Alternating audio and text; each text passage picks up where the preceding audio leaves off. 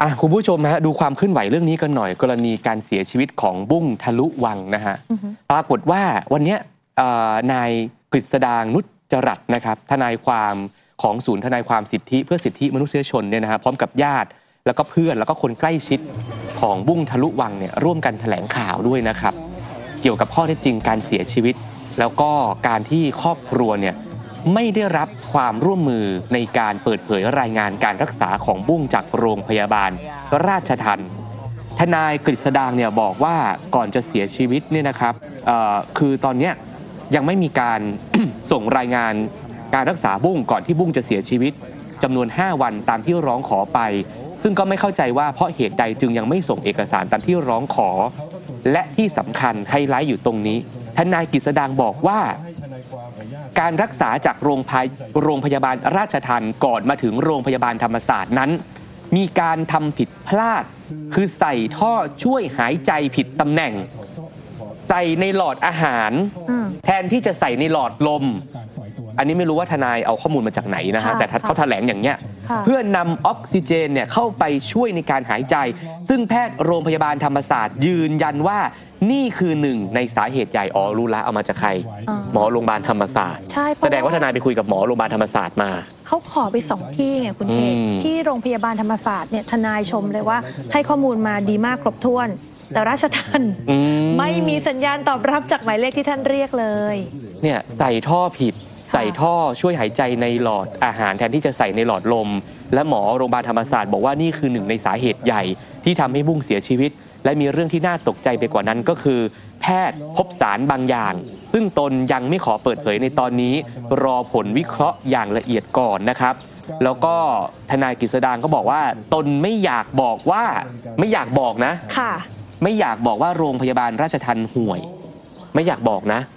แต่ว่าบอกมาแล้วอะ เอาฟังเสียงเขาดีกว่าฮะค่ะรู้ไหมแต่ผมจะพูดเฉพาะประเด็นใหญ่ที่เป็นเรื่องที่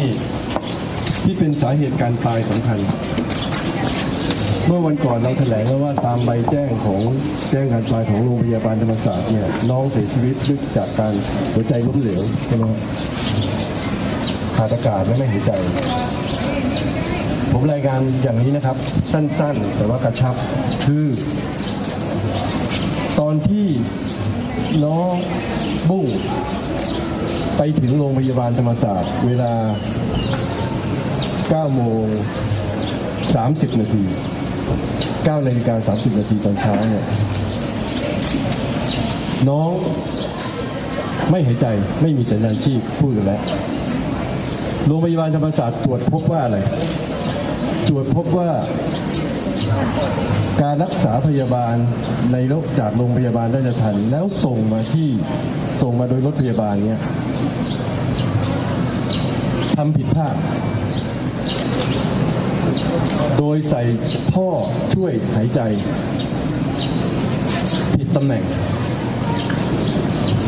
โดยปกติท่อช่วยหายใจเนี่ยนะ ท่อช่วยหายใจเนี่ยจะต้องใส่สอดใส่ไว้ในหลอดลมเพื่อช่วยหายเพื่อช่วยหายใจและนำอากาศเข้าไปสู่ปอด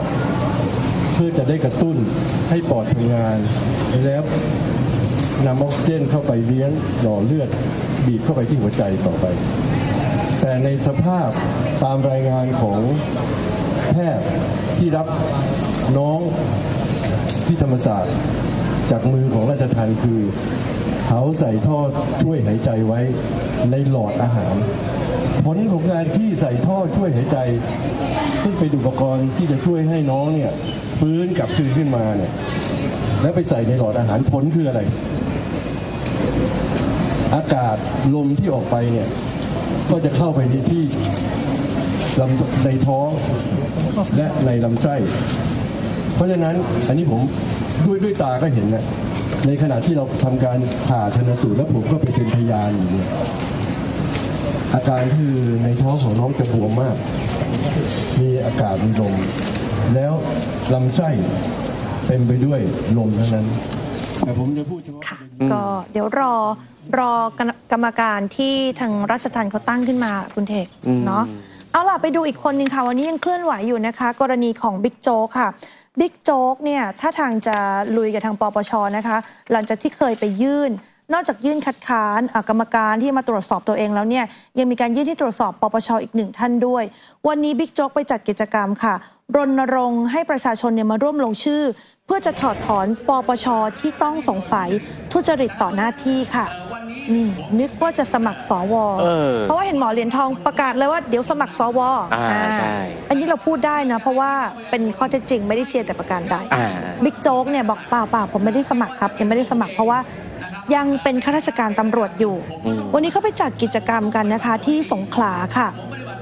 เอ่อมีชื่อกิจกรรมด้วย ปฏิบัติการกวาดบ้านในปปช พื้นที่แรกไปที่อำเภอเมืองสงขลานะคะ หลังจากที่เจ้าตัวเนี่ยเคยไปยื่นหนังสือถึงประธานรัฐสภาเมื่อ 16 พฤษภาคมที่ผ่านมาค่ะ วันนี้บิ๊กโจบอกว่ามีประชาชนมาร่วมกิจกรรมกันเป็นจำนวนมากเอาบัตรประชาชนมาแสดงเจตจำนงด้วย อันนี้เป็นไปตามรัฐธรรมนูญมาตรา3รอขออภัยค่ะ 236 นะคะ เพื่อขอกล่าวหาตรวจสอบกรรมการปปชค่ะ คุณเทกครับ ไม่ถึง 48 ชั่วโมง คนมาลงชื่อกว่า 6,000 คนเลยค่ะ โอ้คนกระแสตอบรับก็ดี ดีมากดีมากต่อไปจะไปพัทลุงค่ะ แล้วก็ไปที่อำเภอทุ่งสงจังหวัดนครศรีธรรมราช ก่อนจะไปที่อำเภอเมืองชนบุรี 22 พฤษภาคมนี้ แล้วโอ้ออนทัวร์เลย แล้วก็จะไปขอนแก่นกับอุดร แล้วจะไปปิดท้ายที่จังหวัดเชียงใหม่นะคะ ยืนยันว่า ภายใน 2 สัปดาห์นี้จะต้องได้รายชื่อกว่า 20,000 รายชื่อ ตามเงื่อนไขอย่างแน่นอนนะคะ และเจ้าตัวก็ยืนยันว่ายังไม่มีแนวคิดจะลงสมัครสว เพราะคุณสมบัติยังไม่ครบเพราะปัจจุบันยังทำหน้าที่เป็นตำรวจถือเป็นข้าราชการของรัฐอยู่ ฟังเสียงบิ๊กโจ้ค่ะอ๋อยังยังวันนี้ยังไม่ได้คิดเพราะผมเป็นไม่ได้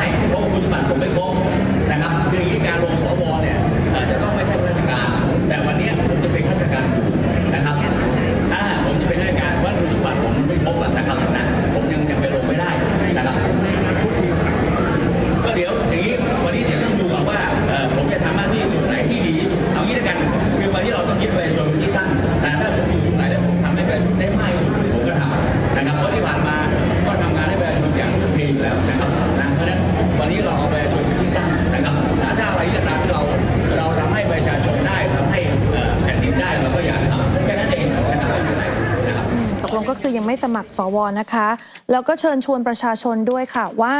ไม่ว่าท่านจะอยู่ภูมิภาคใด ถ้ามีสิทธิตามรัฐธรรมนูญ ออกมาช่วยกันปกป้อง ไม่ให้เกิดการกระทำทุจริตในองค์กรอิสระค่ะ ครับ